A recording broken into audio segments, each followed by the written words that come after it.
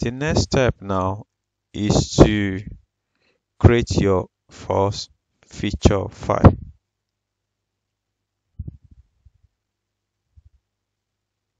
To do that to create your first feature file what you need to do is right click on the feature folder and click on add click on new item.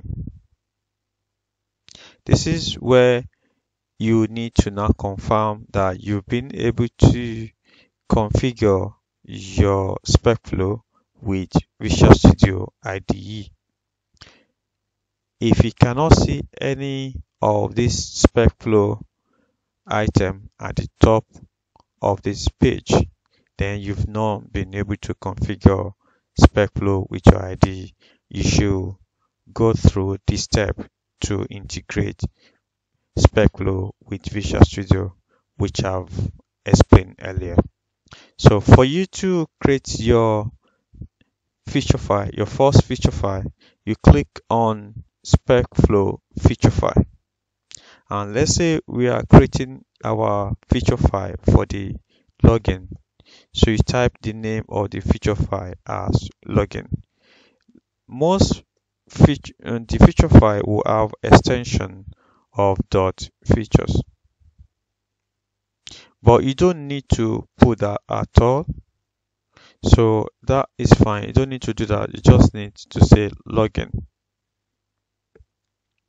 So and after you've done that you click on add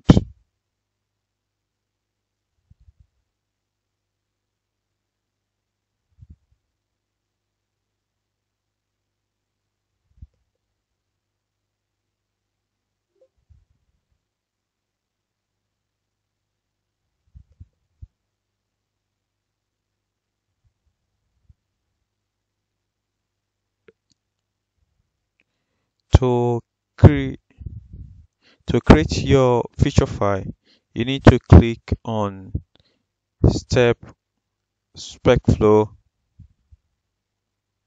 to create your feature file you need to cl click on this item which is the spec flow feature file. Then after you've clicked it then you need to write the name of the feature file that you are creating. Let's say, for instance, we are writing a step for login or registration. So let's first say registration. Every feature file would have dot feature at the end. But at this point, even if you don't put it here, it would automatically be added. So let's say we remove everything and we say we creating registration.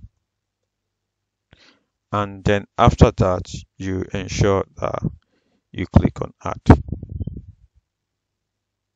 That should create a registration feature file for you. As you can see it's called registration dot feature so and then you can if you drill down on that a c sharp class is created for you automatically by the designer. So which is this. You don't need to work on this at all. Uh, you don't even need to open it. You don't need to. This is auto generated for you. Every time you run your you make changes to your uh, to your feature file this is automatically generated and if you have any issues and it's not able to generate you right click and you say run custom tool it's going to generate that for you. But you don't you don't need to do that anytime. It should automatically generate for you. So let's open that. So this is this start uh, template is going to be given to you.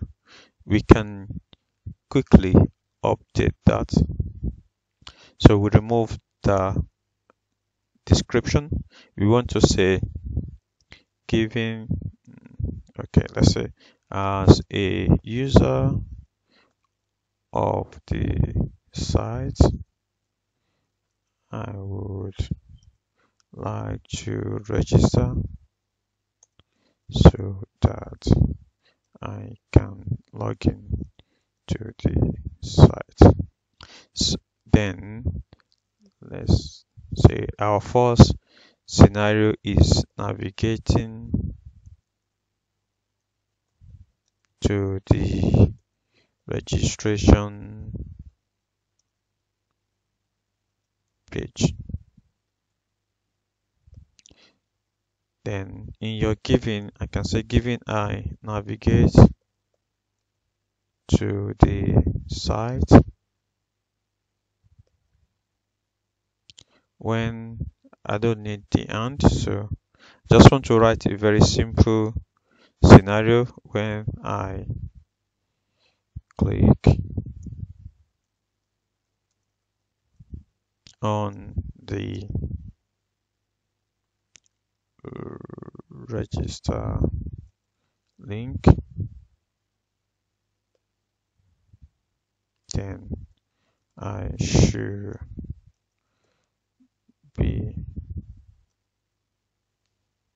then I can say then the registration registration page is displayed. So that's what we that's the scenario that we would be implementing. So three lines in given when then in the next class we're going to talk about this what is given what is when and what is then. So and for now let's just go through this as it is. Then this is your first feature file created. Don't forget it's very very important that you save this file because I've seen situations when people don't save and you create your step definition which we're going to do later and it's not being mapped correctly or so and it's very very important that you you save it so that you can be able to link that with the right step definition. Then as we've done that I would build my site just to be sure that everything is fine.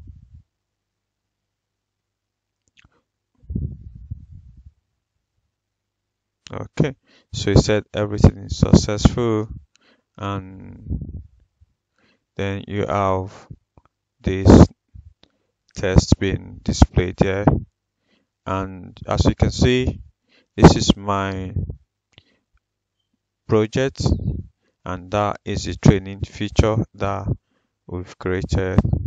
So and inside that we have registration which is registration. And then we now have inside registration we have the scenario. So that's this sequence. And you can have more than one scenario in that test. So for instance if i say that um also each scenario should have a unique name because for in this instance i just copy and paste.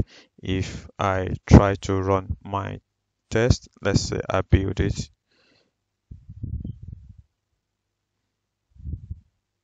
So that passed but if i clean and i try try to run again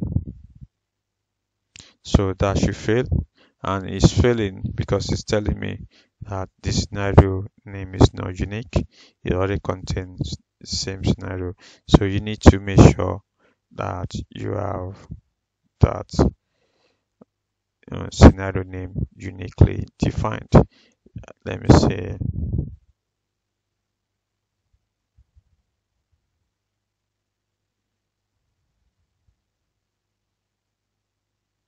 let's say we put not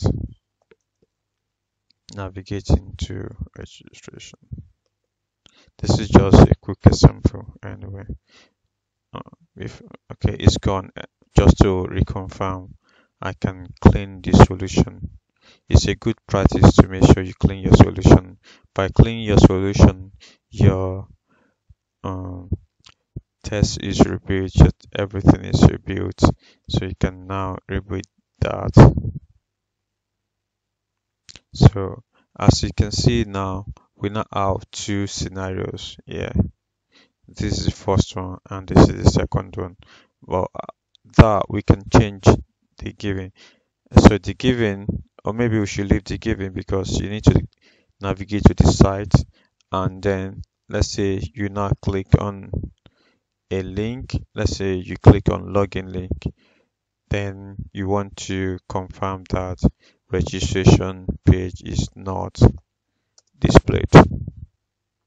So that is what you want to establish. This is basically that you are doing negative testing. That is that. This is our first test first feature file created. Like i said ensure that we save the test that is that